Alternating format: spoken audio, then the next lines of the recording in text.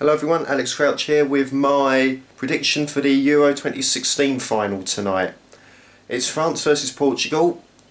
The game I actually predicted would be the final back in my original prediction video in April. We'll scratch over the fact that um, I said it would be Germany-Wales in the final in my semi-final um, prediction video shows I shouldn't really have done one.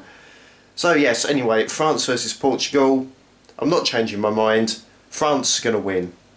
They're the home team, they're the better team.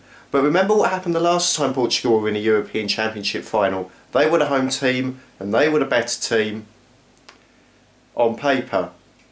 They lost to Greece. Could Portugal do the same to France?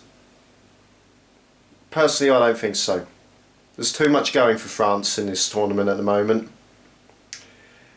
And France haven't lost either of the two previous uh, European Championship finals they've been in. They win this, they would have won the competition three times. That's the same as Germany and Spain. They'd be joint record holders and they qualify for the Confederations Cup in Russia next summer. Let's hope it's a good game. Enjoy it everyone and bye.